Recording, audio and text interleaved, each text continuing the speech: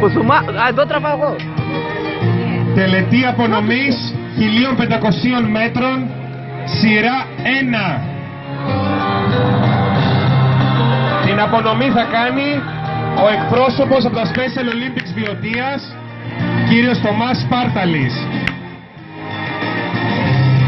Τέταρτη θέση, Μπίζα Στέλιος, από Αγία Θεοδόρα Άρτας, με το νούμερο 101.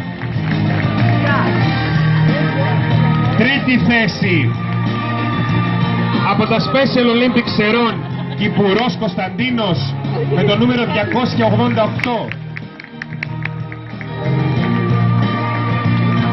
Δεύτερη θέση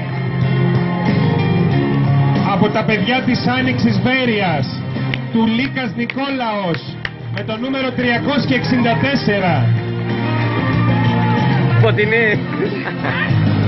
Και πρώτη θέση από τα Special Μπράβο! Olympics Βιωτίας Εμμανουηλίδης Παναγιώτης με το νούμερο 322. Παρακαλώ πολύ, χειροκροτήστε τους αθλητές μας.